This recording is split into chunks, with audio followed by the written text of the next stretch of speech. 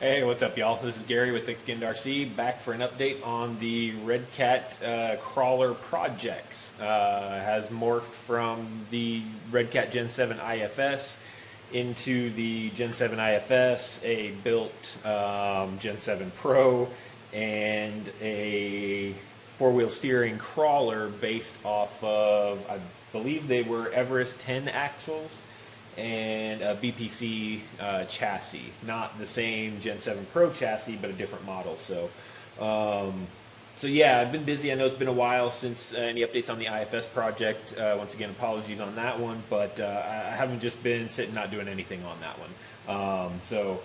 First, we'll cover the IFS project, and then we'll get over um, into the other two projects. Um, do a brief overview on them, and then we'll have some more videos and stuff on those coming up too. So, let's get into it.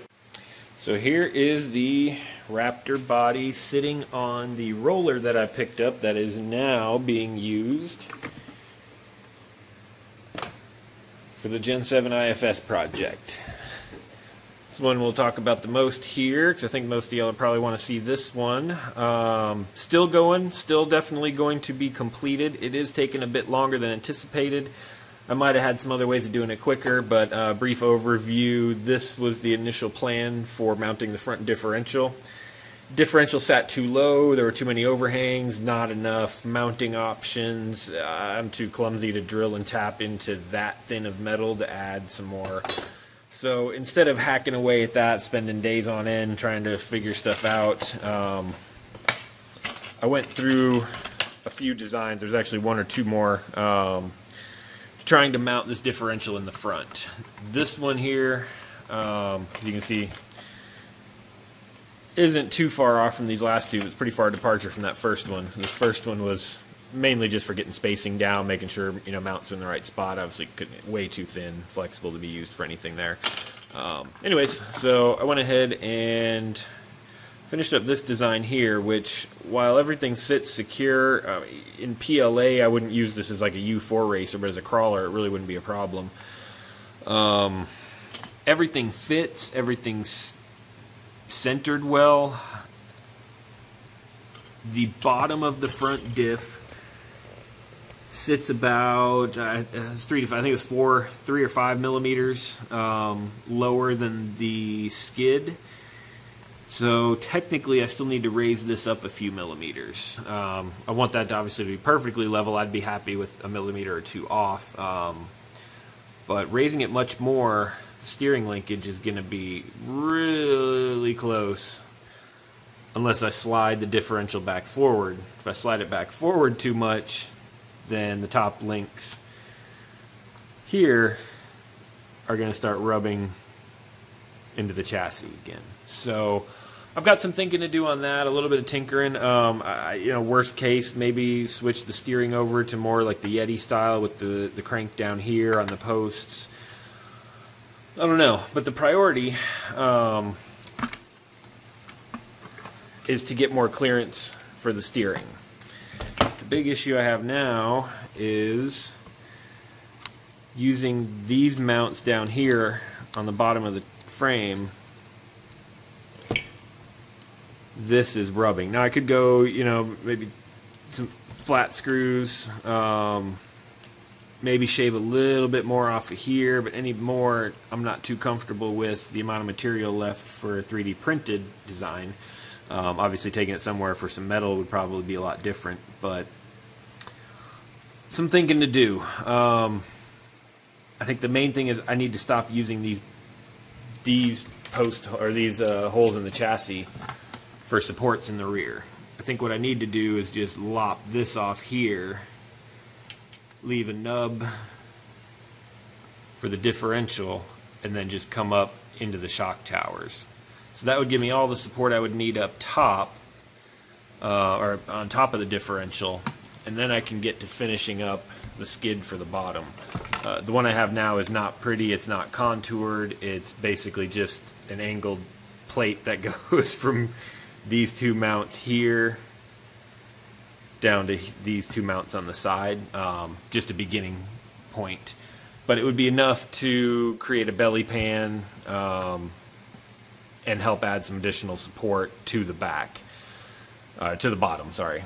So still still making some progress on this one, but um, definitely turned out to be a bit bigger ordeal than I was hoping.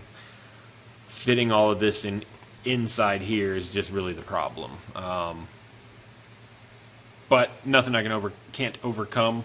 But I'm definitely open to suggestions. So y'all feel free to uh, to pepper me with comments. Um, call me a dummy. Hey, why didn't you think about this down below and let me know. Again, open to suggestions on this one. Um, brief overview of the other projects that I'm working on or will be working on.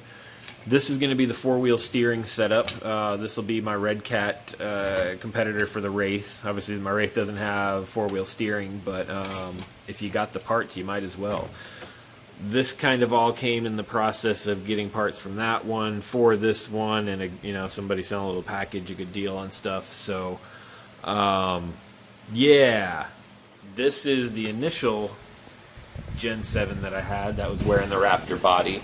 It's now got different springs, um, different axles, different electronics, uh, ch different chassis mount servo plate, uh, different steering links in the front. Uh, um, so this one's got quite an overhaul, and it's it's a heavy one now. Um, it'll go just about anywhere the uh, Honcho will, pretty much with ease. Got a few more tweaks to make with it, um, but it, it's definitely definitely a competent crawler now um, with all those upgrades on it. So I'm going to do a separate update video on this one, just kind of go over the details. Um, and then this one will be coming later this year. I've got a bunch of other stuff to work on before I get to this. Uh,